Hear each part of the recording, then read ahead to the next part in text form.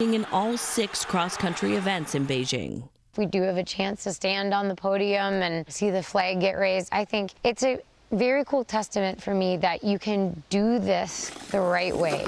You can do it by honoring what your body needs and listening to that and having a body that's unique to you.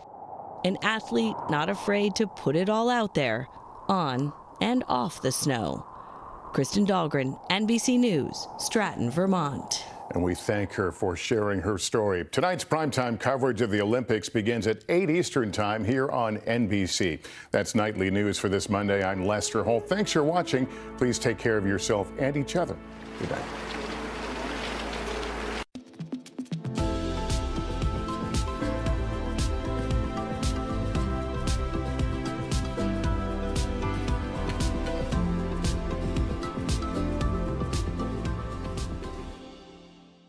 KUAM TV 8, your home for Super Bowl 56. KUAM News Headlines is presented by Calvo's Insurance, a legacy of trust, serving Micronesia since 1938. Matson, celebrating 25 years of commitment to Guam, Micronesia, and the CNMI. Cars Plus Hyundai, home of the Kona electric vehicle, an electric heart with an SUV soul. Test drive yours today at Cars Plus. McDonald's of Guam, I'm loving it, and King's Restaurant, serving your local breakfast, lunch, and dinner favorites for over 45 years.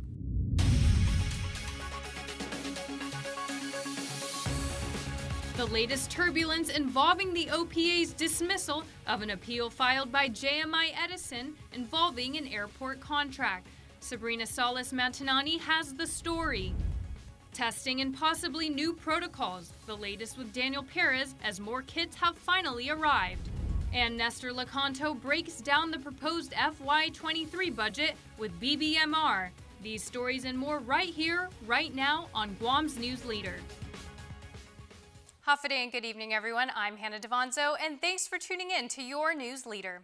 In an interview with KUAM, JMI Edison continues to defend they did nothing wrong and the OPA decision to dismiss their appeal related to an airport contract was based solely on the use of the word bro and not on the merits and the baggage of the winning contractor. Instead of getting TMI, JMI says the OPA's decision only focused on the issue of BRO. In hindsight, the uh, pronoun um, might have been uh, poorly chosen, but there's nothing illegal with the word bro.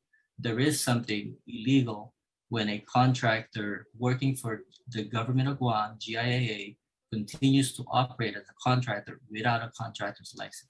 JMI specifically appealed GIAA's contract award to Menzies for a baggage handling system because the company didn't have a contractor's license. But it was an email from JMI to CLB Executive Director Cecil Orsini that the OPA took issue with, ultimately deciding this was a case of a bro just helping out another bro. JMI's John Elau, however, says the OPA focused on the pronoun instead of the actual letters submitted by Orsini, which he maintains does not need action by the CLB board because it's a citation. So, on the two findings, the first finding was really, you know, CLB stating that Menzies did not have a license. The second finding was that the work at GIAA required a contractor's license. And that's all the letter, that's the content of what the CLB uh, letter had was just those two findings. There wasn't any manipulation of any other thing. It's just those are pretty straightforward. According to JMI, the facts were lost in all the turbulence. It just became intertwined uh, because of the uh, auditors, uh, the, the OPA's ruling. But really, if you go back since day one in September, when we FOIA GIA, we communicate with uh, the CLB, the staffer gave us the uh, information that they weren't licensed. So, you know, you just got to go back from the beginning rather than start at December. And that's when, you know, I, I wish, you know, the, the auditor would, should have conducted a full hearing so that way he can call us all stakeholders in, people from Menzies, me, uh, GIA, and get the whole story. For now, the issue is grounded with the OPA, but JMI is charting a new flight path at the Superior Court the entire ordeal costing a pretty hefty ticket. It's disappointing in, in two ways. Not only are we fighting, spending money with our lawyers uh, on, on the OPA, but now we got to spend more money when we go to the court system. Whereas if it stayed in the OPA and if we had a full hearing, then all the stakeholders would have been sworn in and, and uh, the OPA would have learned more about the history from September, not just basing his decision on December, on and solely on the word bro, which is again is not illegal. Reporting for Guam's News Network, I'm Sabrina Salas, Matanane. Allow also points out that this is a contract renewal for Menzies and that it hasn't had a contractor license for the past several years. Also involving the OPA, an appeal was filed by Guam Pacific Enterprises against the Guam Department of Education regarding HEPA filters. The company filed the appeal after GDOE denied their protest in mid-January. Among the list of reasons for the filing of the appeal, the company asserts the authors of the procurement documents at GDOE aren't architects and have no engineering background, but rather are educators. The reason why there are so many concerns from prospective bidders, DOE has no definite answers on many concerns. Just today, Guam Pacific Enterprises filed another appeal against GDOE, this time related to the procurement of cafeteria tables. Looking into procurement at the Guam Department of Education is Senator Sabina Perez. The Democrat lawmaker sent over a Freedom of Information Act request to GDOE wanting information about maintenance services, air conditioners, and computers. Specifically, she wants all communication as well as meeting notes. GDOE has acknowledged receipt and is working on their response. The government of Guam continues to ride high on tax revenue collection, says Budget Director Lester Carlson, and he's very confident about next fiscal year 2023's proposed spending plan of nearly a billion dollars, which is 50 million more than this year. Nestor Licanto reports. Budget Director Lester Carlson says just take a look at the very strong general fund collections. Fiscal year 2021 ended $60 million higher than expected, and that strong performance continues, he says, in fiscal 2022, with more than 35 million over projections in the first quarter ending in December. If that's not proof enough, he says, they checked revenue collections for January and it's 11 million over projections, so now they're 47 million ahead so far in FY 2022. There was some concerns about the cessation of PUA and what that would do. Um, and um, I understand there might be still some um, some thoughts that uh, without PUA uh, we're doomed, but we're not seeing that. Um, there, the, the penchant for um, people to say that uh, residents are going to spend less isn't showing up in tax collections, and it's not showing up in the grocery store, and it's not showing up at Island Girl Coffee. Senators we've spoken to, though, remain skeptical. They aren't convinced that the economy can ride high when tourism, the main pillar of our two pillar economy, can plunge with little sign of an immediate resurgence. We're in the middle of Cope North, there's 2,500 troops. We've been, uh, you know, we have a, a, a plethora of military construction con- uh, contracts going on. We've got uh, the uh, big development, um, you know, in um, Tamuning, the Don Quijote.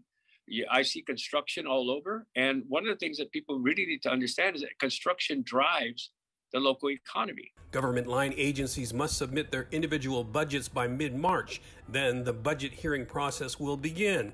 Carlson and the administration are standing pat on their numbers. I'm very, very comfortable with what it is that we've been trying to say and I think if you look at what the governor uh, has blessed and what uh, Edward Birn and, and, I have tried to uh, get the legislature to, you know, adopt, um, you know, I think our numbers have been and will continue to be uh, born with more support behind them. The legislature is required to submit a budget plan to the governor by the end of August. For Guam's News Network, I'm Nestor Licanto. Meanwhile, according to the Budget Bureau, the governor still has more than $400 million in unspent American Rescue Plan money. That was by design, Nestor. Um, these funds are available to December of 2024. This is not supposed to be uh, something that is just used um, without regard for future growth needs. And uh, a lot of the funding that you see that hasn't been um, touched yet uh, has a future design to it. Um, Department of Public Works, for example, uh, there is a lot of money in uh, uh, road paving, things that we haven't been able to do much of uh, in the last few years because of budgetary constraints.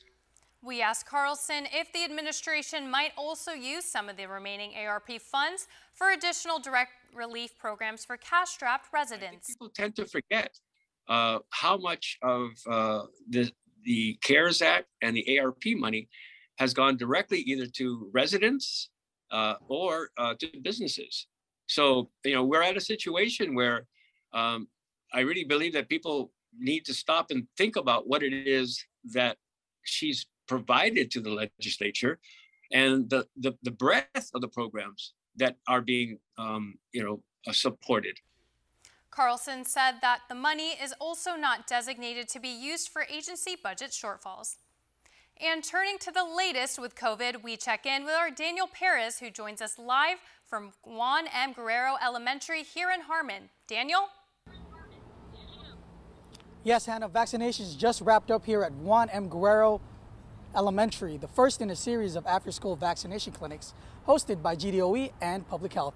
But the big news today a long awaited shipment of test kits have finally arrived. Here's more.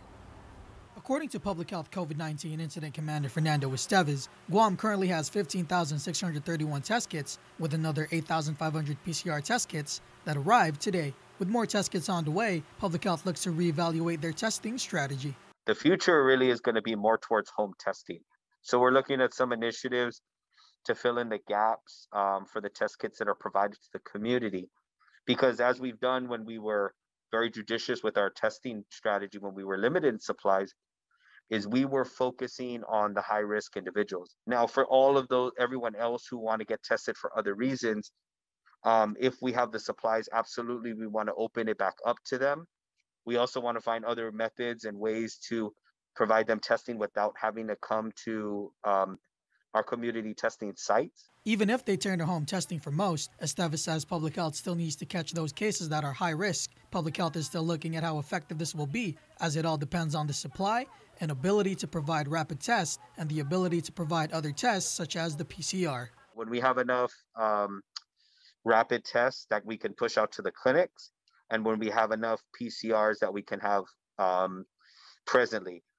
So assuming that all of the testing supplies come in, then based on the projections that we have, we'll we'll we'll we'll be looking to open that back up as well. Maybe when the second order comes in, then we'll we'll revisit and we'll make the determination at that point.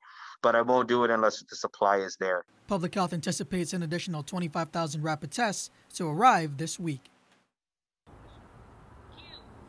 Another after-school vaccination clinic will be held tomorrow at Carbullido Elementary from 3 to 6 p.m. Reporting live for Guam's News Network, I'm Daniel Perez. Back. Thanks, Daniel. And just before news time, the Joint Information Center reported Guam recorded its 299th COVID-19 related fatality, an 83-year-old man who was partially vaccinated that tested positive yesterday. Additionally, the JIC reported 844 new positive cases. Meanwhile, the CNMI is essentially reopening its borders after lifting its on-arrival COVID-19 testing requirements. Tomas Manglona has the details. The CNMI has opened its borders for the fully vaccinated, no longer requiring COVID 19 testing upon arrival. CHCC spokesperson Gil Lifoifoi. The data that we're seeing here in the CNMI is that we're identifying cases in the community more than we identify cases from travel. However, all passengers still need to upload proof of vaccination and complete a health declaration form before boarding, which also asks for secondary verification of vaccination if you received your shots outside of the CNMI. If you are unvaccinated, you are required to quarantine at home for at least five days and test on day five. If fully vaccinated travelers want to get tested on day five, they can go to a community based testing site. Travelers to Rota and Tinian can schedule their test at the health centers on island. Surveillance of COVID 19 at the border isn't the best predictor of the burden here to our healthcare system. So we're shifting the focus on medically significant community infections. The shift comes after the CNMI reached a 99% vaccination rate, with half of those who are fully vaccinated also boosted. Tomas Manglona for KUAM News. And once again, we invite you to voice your view across our social media pages. This week, we're talking about the Super Bowl. Today, we're asking what your favorite tunes are from this year's halftime show performers. Let us know, and we'll share some of your responses on the link. And still to come on Your News Leader, a progress report with our Isaiah Uggan on how the Academy of Our Lady of Guam is coping with COVID and the latest with proposed multi-story development in Tamuning. These stories and more when we return.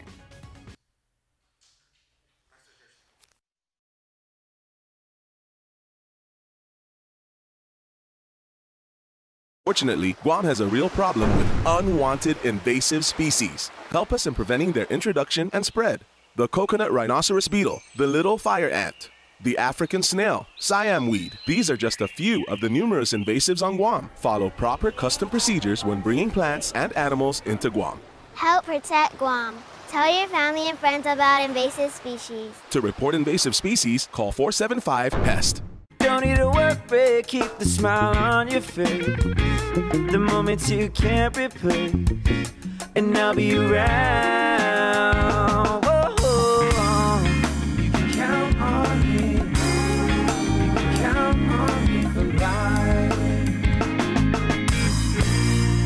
Life takes you, we're always here for you. Calvo's Insurance. Count on us for life. It's beautiful. It is, right, baby?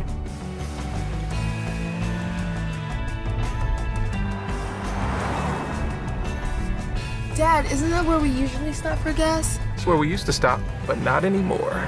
But isn't that the place with the milkshakes? Okay, all right, all right, let's go. Get it out, kids. Take your adventure further in the first ever Santa Fe Hybrid. I'm a small business owner and I run a couple of boats. And when COVID first hit, we were kind of, uh, at first we thought it was just like any other pandemic, like the SARS, and we weren't prepared for it until uh, unemployment is shutting down the whole uh, industry. My whole uh, business relies solely on uh, tourism. When that shut down, we're kind of worried because we don't have enough savings for the uncertainty of uh, how long it's going to last. We're so thankful that the government, uh, the federal government, started giving out the uh, grants, loans, and like PPP and all that. That really saved us, and it's really helping us a lot survive. You know, and right now we're we're still struggling, but at least it's easier. And without those uh, grants and uh, and loans that from the federal government, I mean, I, I, we wouldn't be here. Thank you for the unemployment assistance from the federal funds. Thank you. this ad was paid for with official funds from the office of Congressman Michael F.Q. San Nicolas. Let us know what's up on our KUAM News WhatsApp tip line at 671 727 0094. Share information about what's happening in your town on Guam or the CNMI and what you want us to know. Reach us on WhatsApp at 671 727 0094. Welcome back. Getting into crime and court news now. He was scheduled for a pretrial conference today before Superior Court Judge Maria Cenzon, but instead the hearing was continued for Paul Santos Mafnas Jr. The AG's office confirms that negotiations on a plea agreement have been underway and that the family has been notified and informed. Mafnas was indicted in April of 2019 after allegedly kidnapping and raping a 10-year-old girl who was walking to her bus stop in Tamuning. He is a repeated sex offender. In May of 1999, he was sentenced 27 years in prison for kidnapping and raping four teenagers. He was granted early parole in 2018. And in court today was Manuel Tatautau for a further proceedings hearing. Forensic evaluations were discussed but have not yet been reviewed by attorneys. They also discussed Tatautau receiving services from the Guam Behavioral Health and Wellness Center while at DOC. And in August of 2021, Tatautau allegedly stabbed, beat, and set John Pinalla on fire, who later died in October. Tatautau was charged with attempted aggravated murder, attempted murder, kidnapping, aggravated assault, and felonious restraint. He allegedly threatened to kill a woman because he felt she was robbing him of his entitlements from his father's death. On February 6, police received a complaint from a woman alleging Roy Ronald Osick had been terrorizing her through phone calls and text messages. Osick was later picked up in Dededo. During questioning, he allegedly confessed to threatening the victim. According to court documents, he even showed police a message he sent You're right, I smoke ice, drink, tobacco. I keep forgetting that I'm going to kill you. He faces a slew of charges to include terrorizing and harassment. He didn't get very far after allegedly robbing a Yigo Mobile. 22 year old RJ, aka Jay Wine, is accused of entering the gas station just before 4 a.m. on Monday, demanding beer and threatening the cashier with a machete. Apparently, apparently, he remained on premise. The victim found Wine sleeping on the ground under a tree behind the gas station. The crime was caught on surveillance video. Wine was charged with second and third degree robbery. With two current death investigations and one hit and run fatality, a lot has been happening on Guam within the last month. We spoke with island residents today to hear their worries on crime. Two death investigations underway by detectives in the past month alone. One in Yigo, another in Chalan Pago. A hit and run fatality over the weekend. Robberies and burglaries. Is GPD winning the war on crime? Do you feel generally safe with the crime rates? Uh, no. Some island residents feeling unsafe have taken extra safety precautions. For my home, I did add security cameras and I do step outside just to take a look around, make sure the neighbors are also okay. I got dogs, but you know, even then the dogs, sometimes the dog's scared of them. So where I live, um, um, I am actually part of the Dededo and the Barrigada Neighborhood Watch. Yeah. GPD encourages the community to get involved with their respective neighborhood watch group chats, which can help deter crime. They're also urging residents to be proactive in reporting suspicious activities to GPD. If you'd like to join your village group chat, contact your local mayor's office. After two weeks of remote learning, half of the students at the Academy of Our Lady of Guam resumed face-to-face -face learning. Here's more with KUAM's Isaiah Uggan. It was back to in person instruction for half of the Academy of Our Lady of Guam student population. Principal Iris Gaza breaks down the lesson plan. So, we started having students on campus today, and we decided for the next two weeks we would do our 50 50 hybrid um, learning modes. So, right now we have freshmen and sophomores on campus, and our juniors and seniors are online. And then next week, they will switch. The home of the Cougars actually started the school year with a hybrid learning model and planned to bring all students back to campus in January, which they did. But then the Omicron surge sent students into remote learning. In December, before we went on break, we were already gearing toward bringing everyone back in January for full inclusion, right? Um, so when January hit, we decided we were going to bring everyone back. So for a good two, three weeks, everyone was on campus. Um, right after the break. About 98% of employees and of 329 students are fully vaccinated, although not having a mandate requirement in place. In efforts to resume full in person instruction, Gaza hopes resuming on campus testing soon through the White House School Testing Initiative. It has been very helpful and instrumental in um, helping keeping our students safe. When we came back both face to face, we did our testing obviously increased because now everyone was on campus. Um, and it really um, affected our supply because by the end of the third week, we were we liter- had literally no supplies. But we're supposed to be getting um, supplies from a Biden initiative that allows or that provides testing to schools on the island. And so we're waiting for those to come in, um, which is also one of the reasons why we didn't go back 100% to face to face this week. Reporting for Guam's News Network, Wahusi Isaiah Uggan. A public hearing on the controversial Vista Del Mar is ongoing at this hour. The multi-million dollar development slated for construction at the Harmon Cliff Line has raised concerns from several senators about the environmental impact the project will have. The hearing at the Tamuning Community Center will cover public comments for the proposed hotel, water park, single and multi-family home projects, as well as the developer's request at getting a variance approved so that it can build an additional 13 stories higher than the current 13 floor limit for the development. The sanitary permits of two restaurants located in Tamuning were suspended following an inspection by public health. Inspectors were responding to a complaint on January 24th when they noticed multiple violations at Imperial Garden and Mungo Mongo. Both restaurants were cited for unclean conditions and both permits were suspended due to cockroach infestation. Sports is coming up next, but later in Giving Every Tuesday, we feature volunteer group Love Guam. Stay with us, we're back in a moment.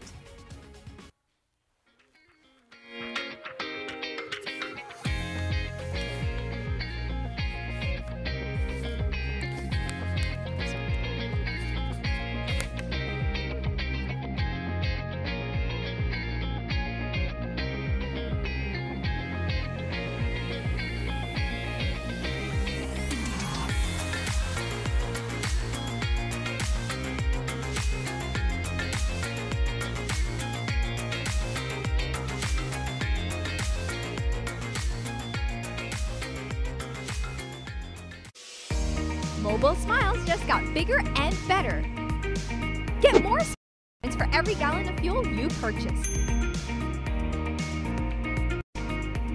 Or get more miles with United Mileage Plus. Register your Smiles card online to start redeeming rewards today. At guam.mobilesmiles.com. If COVID 19 has affected your ability to stay on top of your mortgage or utilities, you may be eligible for the Department of Administration's Guam Homeowner Assistance Fund. This new program can provide up to $15,000 to eligible homeowners to meet their mortgage obligations. While you keep your household safe, we want to help keep it stable and provide support for those who qualify. Pre applications will be available starting January 31st. For more information, visit doa.guam.gov or call 671 638 3814.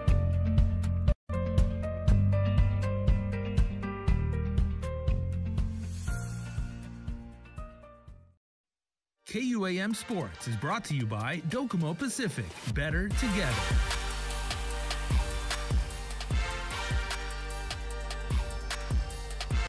Geckos and Dolphins taken to the FD Phoenix Center in the ESA uh, IIAAG Basketball League. Southern up 17 to 10 in the second quarter. GW playing the game with a few swing players filling in. Drew Sykes with the jumper at the free throw line, assisted by Alexa Roberto. Southern's Chloe Lopaton with her only basket of the game here. Geckos took the lead in the third quarter with under four minutes left. Free throws were clutch in the winding minutes. Esmeralda Samuel with the long two. Dolphins, Rayanne Sanel led her team with 15 points. Driving baseline shot off the backboard is good. Serena Opindo caught fire late in the game. Opindo with the last few scores for GW to close out the third quarter. Geckos with the slim lead heading into the final quarter. gw in the bonus to start the fourth. A pair of free throws put them ahead 35 to 29.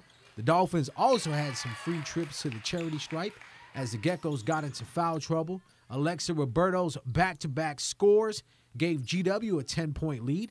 Jessica Naruhu put up six points for the Geckos. Naruhu with the pass to Carzina Alfonso to Roberto for the score. Geckos pick up the win 53 to 34. Alfonso led all scorers in the win with 16 points. Keeping with basketball news, the University of Guam Recreation Department launched its first ever co ed club basketball team at the Love and Basketball Tournament, sponsored by the Micro Friends Basketball Organization. The Tritons club team had a successful start with two wins at the Vicente S.A. Benavente Middle School gym. UOG is the number one seed with the two wins and automatically goes to the championship game scheduled for Sunday. The Tritons will play the winner of the Imperials and Advocate game. All UOG games are recorded and posted on the Triton Athletics YouTube channel.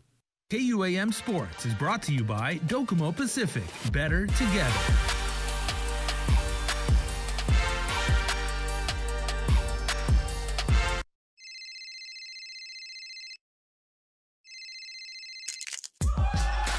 Need a new phone? Trade in now and get up to $500 off our best 5G devices. Trade in your older phone in any condition. and step up to better savings and speeds only our 5G network can provide. Check out our website and catch up on the best mobile experience. Trade in now. Docomo Pacific. Better together. This is a bag. But for Steve, this bag gives him food cred. Because now everyone knows that when they have that craving, or they're just looking for the perfect deal, well, they just need to follow Steve. Follow him all the way to the new McTeri Deluxe at McDonald's. It's an all beef patty smothered with teriyaki sauce topped with lettuce and tomato on a sesame seed bun. For a limited time, price and participation may vary. Giving Every Tuesday highlights individuals, businesses, and organizations who are giving back and spreading kindness with simple gestures. Tonight, we take a look at the volunteer group Love Guam and how they're keeping the island beautiful, one seedling at a time.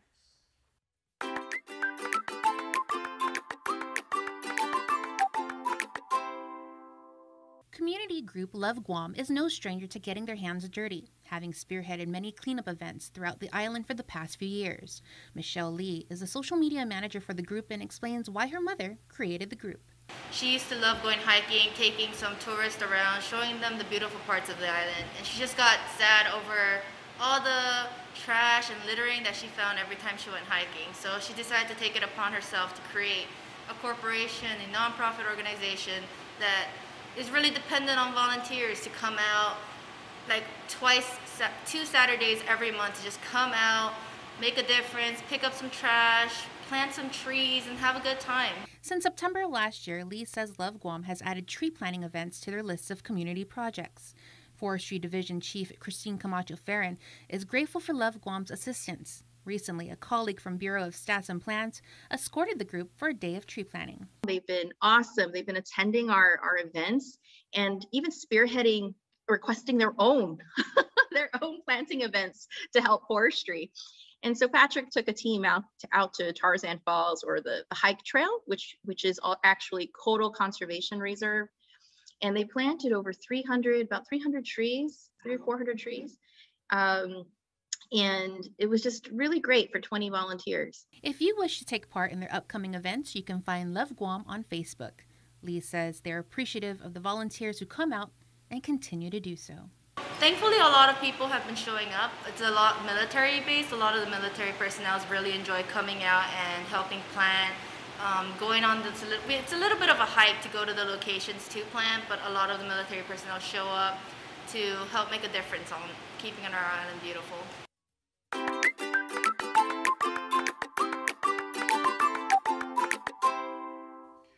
It's getting hot in here as KFC partners with Dinanche Brand for hotness done right. Dinanche Brand owners Lenny and Pika Farron telling KUAM KFC has always been considered local on Guam, so the Pika partnership was a no-brainer. No just means correct in the Chamorro language. It means also right, you know, so that's why they, they went with the hotness done right. You know, so Dinanche is the brand. Um, it's, it's basically just letting people know that we're a spicy condiment manufacturer. 100% uh, local. Uh, our Dunny's coming from the south. As of right now, it's coming from Talofofo. Um, but, you know, we're looking to branch out as we grow. And it's, you know, it's a true local product. The Farrens took over the Colonel's Kitchen to create the KFC Dinanche Chicken Sandwich and Twister, available at all KFC locations on Guam. And before we close out the news tonight, our latest round of birthday shoutouts from the Cold Stone Creamery Birthday Club. It's February 8th, guys, so happy birthday to Juan Gregorio Quintanilla Hale. Happy birthday to you from all of your family and friends. Nova Jerome, happy birthday to you. Nova turns four today. That's a great, great age. We wish you the very best. And belated birthday wishes going out to Aiden Manglona, who was born on February the 6th. Happy birthday number nine, Aiden John. Your family, friends, and everybody that knows you are wishing you a fantastic birthday. Remember, you can be a part of the Cold Stone Creamery Birthday Club by registering online at KUA.